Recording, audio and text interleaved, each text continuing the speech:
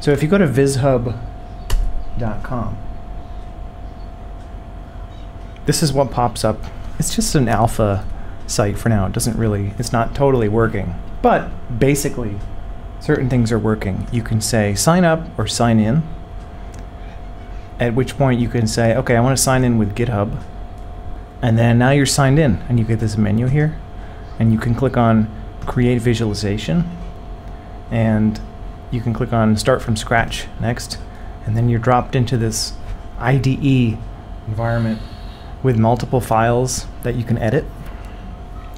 So here's the basic layout of things. We're importing the D3 script, and then we're loading our bundle.js, which is here. Uh, but this is not the code that you write. The code that you write goes in index.js. And you can use ES6 imports like import select from d3-selection and import message from dot slash message. And then we can use the D3 API to select our div with an ID of message and then set the text to be message. But what is the message? Let's take a look at message.js. Here we're using ES6 exports to say, okay, this is my module and this is the message. So if I change this text to say saved, see it updates over there, and then this little indicator says saving and then saved. And then if I refresh the page, this saved content will be presented back. So index.html, we can make an SVG and then say inside this SVG we make a circle. Circle, not circle. And this circle has attributes like CX and CY, which are by default zero, but let's make it so we can see the circle first. I'm gonna get rid of this message, and also we don't need any JavaScript right now. And I don't know if I like that red background, so I'll just, you know, get rid of that CSS there. And then we can say, okay, our circle has a radius of 10. And we see a little black circle there. Radius of 10 pixels. We can make it 100 pixels. And let's set the CX and CY to position it. CX is, let's say, I don't know, 100. See, that moves it over to the right.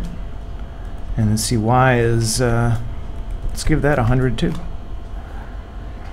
There we go. We see that it's sort of getting cut off. That's the typical thing that you see when you don't specify the width or the height of your SVG. So let's say SVG width is uh, 960 and height is let's say 500 these dimensions are from bl.ocks.org I'm just so used to them by now. Hmm, it works? Yeah the UI is open source here.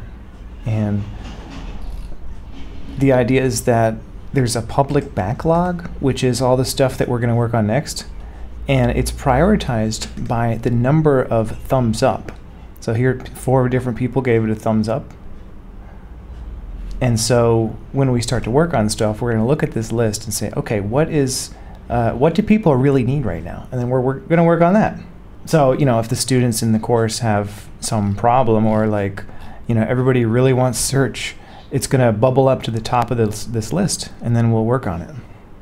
And people can give feedback on these GitHub issues too. We could have conversations like, what am I going to search for? People or visualizations or what? So this list is just it's just the starter issues, and there's a lot more features that we're going to make. So let's say we want to make a new issue about a profile page. This is how you might do it. And you could say, I like to phrase these as user stories. So you could say, as a casual viewer, I want to be able to see the visualizations that a given person created. And then we can say, submit new issue. And now this is something that we'll keep track of and probably do one day. But this is like what I wanted all along. It's um it's a simulation of my Vim environment. See if I open up Vim and I open up this tree view on the left, this is how this is actually my working environment that I use. And so you can open up the files, edit them here, Uh, and then I have a roll-up build running watch.